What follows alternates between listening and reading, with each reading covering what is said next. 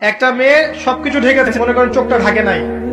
এই চোখ দুটো দেখেই একটা ছেলে তার প্রেমে পড়তে পারে। একটা ছেলে হিসেবে বলছি, এটা সম্ভব।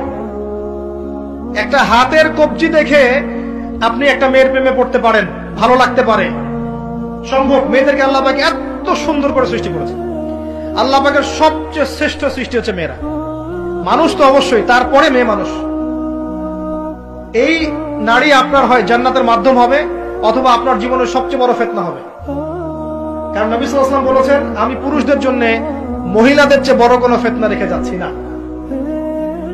প্রচণ্ড বড় ফেতনা হতে পারে।